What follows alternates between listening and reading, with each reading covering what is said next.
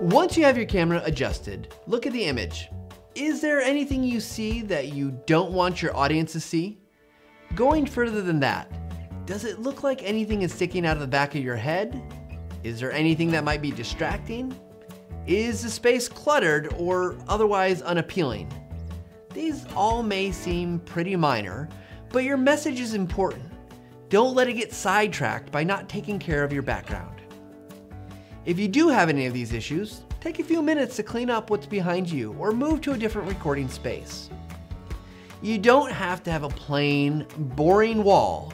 Your background can be used to reflect more about you, your organization, and your culture. But don't let it take away from what you're saying. As you're looking at environment, also make sure that it's going to be free of movement or other distractions.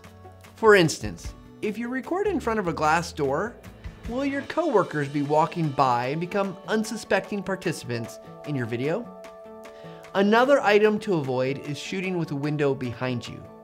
Typically, this will cause the camera to focus on the light from the window, making it hard to see you.